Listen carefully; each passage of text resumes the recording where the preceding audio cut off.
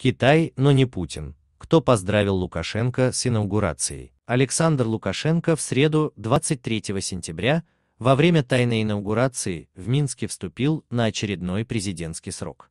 Кто поздравил Лукашенко с инаугурацией, читайте в материале РБК Украина.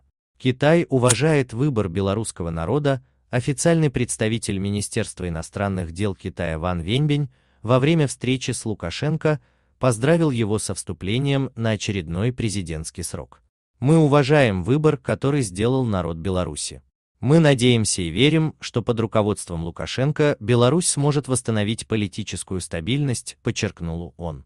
Поздравление от президента Туркменистана. Президент Туркменистана Гурбангулы Бердымухамедов поздравил Лукашенко с инаугурацией. Лидер Туркменистана пожелал всему белорусскому народу мира, дальнейшего прогресса и процветания.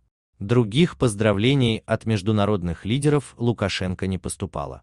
Путин не поздравил Лукашенко, президент Российской Федерации Владимир Путин не поздравил своего белорусского коллегу со вступлением на очередной президентский срок. Как пояснил пресс-секретарь российского президента Дмитрий Песков, поздравление с инаугурацией не является обязательным. Президент Путин, РЭД, поздравил президента Лукашенко с победой на выборах и по телефону, и дальше уже очно во время недавнего рабочего визита президента Беларуси в Сочи, добавил представитель Кремля.